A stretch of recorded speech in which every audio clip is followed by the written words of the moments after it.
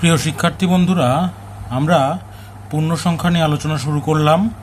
আমরা জানি অঙ্ক হচ্ছে দশটি, শূন্য থেকে নয় পর্যন্ত দশটি অঙ্ক। এখন কয়েকটি পূর্ণ সংখ্যা আমরা জানি যে অঋণাত্মক পূর্ণ সংখ্যা। অঋণাত্মক হচ্ছে শূন্য থেকে শুরু করে ধনাত্মক সকল পূর্ণ সংখ্যা, যেমন শূন্য, এক, দুই, তিন, সবই হচ্ছে অঋণাত্মক পূর্ণ সংখ্যা। ঋণাত্মক পূর্ণ সংখ্যা হচ্ছে যেগুলো ঋণাত্মক চিহ্নযুক্ত পূর্ণ সংখ্যা। সেগুলো হচ্ছে ঋণাত্মক পূর্ণ সংখ্যা যেমন minus four minus three minus two এবং পূর্ণ সংখ্যা হচ্ছে অঋণাত্মক, ঋণাত্মক, শূন্য, সবগুলো মিলে যে সংখ্যা হয়, সেটি হচ্ছে পূর্ণ সংখ্যা অর্থাৎ এখানে প্রত্যেকটা সংখ্যা পূর্ণ পূর্ণ হিসেবে থাকবে। তাই এটাকে বলা হয় পূর্ণ সংখ্যা প্রিয় শিক্ষার্থী বন্ধুরা, আমরা এবার দেখব যোগাত্মক বিপরীত সংখ্যা। যেমন পাঁচের যোগাত্মক বিপরীত সংখ্যা হচ্ছে মাইনাস পাঁচ। অর্থাৎ কোনো সংখ্যার যোগাত্মক বিপরীত সংখ্যা হচ্ছে ওই সংখ্যার সাথে এমন একটি সংখ্যা যোগ করতে হবে যে সংখ্যাটি যোগ করলে তাদের যোগফল হবে শূন্য। তো পাঁচের সাথে এর সমমানের সংখ্যায় শুধু সামনে বিয়োগ চিহ্ন দিয়ে দিলেই যোগফলটা হবে শূন্য, তাই পাঁচের যোগাত্মক বিপরীত সংখ্যা হচ্ছে মাইনাস পাঁচ। তাহলে আমরা দেখতে পাচ্ছি কোনো সংখ্যার সাথে তার যোগাত্মক বিপরীত সংখ্যা যোগ করলে তার যোগফল সময় হবে শূন্য, এটা আমাদের মনে রাখতে হবে। আমরা একবার দেখব গুণাত্মক বিপরীত সংখ্যা বা গুণাত্মক বিপরীতকও বলা হয়।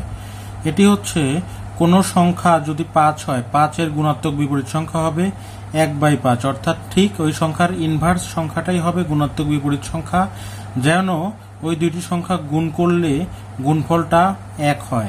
তাহলে পাঁচের গুণাত্মক বিপরীত সংখ্যা হচ্ছে এক বাই পাঁচ, কারণ এই দুটি- সংখ্যা গুণ করলে গুণফল হওয়ার সময় এক হবে। দশের গুণাত্মক বিপরীত সংখ্যা হচ্ছে এক বাই দশ কারণ এই দুটি সংখ্যার মধ্যে গুণ করলে গুণফলটা এক হবে। শিক্ষার্থী বন্ধুরা, এবার আমরা আলোচনা করব বীজগণিতীয় কতগুলো রাশি সম্পর্কে। প্রথমটি হচ্ছে চলক। চলক হচ্ছে একটি বীজগণিতীয় রাশি, যার মান সবসময় অজ্ঞাত থাকে, যেমন এক্স ওয়াই ইত্যাদি বিভিন্ন রকমভাবে প্রকাশ করা হয়। এখন আমরা এই চলকের মানগুলো, যেমন এক্সের মান, এই চলকের মানগুলো সবসময় পরিবর্তনশীল। যেমন এক্সের মান পাঁচও হতে পারে দশও হতে পারে।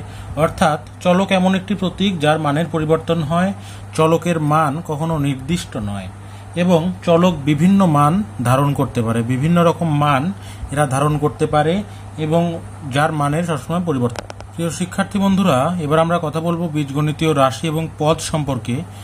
আমরা এখানে একটি বীজগণিতীয় রাশি লিখেছি। সম্পূর্ণটা একটি বীজগণিতীয় রাশি, যেটা তোমরা প্রায় ভুল করো। এখন বীজগণিতীয় পদ কাকে বলে? বীজগণিতীয় পদ হচ্ছে সেই অংশগুলো যেগুলো প্রক্রিয়া চিহ্ন যোগ এবং বিয়োগ দ্বারা সংযুক্ত। যেমন এখা- এখানে একটি যোগ দ্বারা সংযুক্ত রয়েছে ফাইভ এক্স তাই ফাইভ এক্স একটি পদ। আবারও এখানে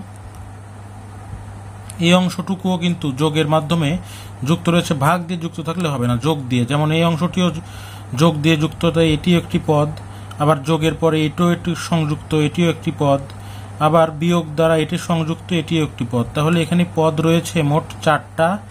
এইটা একটা পদ, এইটা একটা পদ, এইটা একটা পদ এবং এইটা একটা পদ। মোট চারটা পদ এখানে রয়েছে। প্রিয় শিক্ষার্থী বন্ধুরা, কোনো রাশিতে যদি একটি পদ থাকে, যেটা যেরকম এখানে শুধু একটি পদ তাকে বলা হবে এক পদই। যদি দুইটি পদ থাকে, যেমন প্লাস চিহ্ন দ্বারা সংযুক্ত দুইটি পদ রয়েছে এখানে, তাহলে এটি একে বলা হবে দ্বিপদী রাশি। এবং এখানে দেখা যাচ্ছে মাইনাস দিয়ে যুক্ত এই দুইটি এবং প্লাস দিয়ে এটি। তাহলে এখানে রয়েছে পদ তিনটি, তাই একে বলা হবে ত্রিপদী রাশি।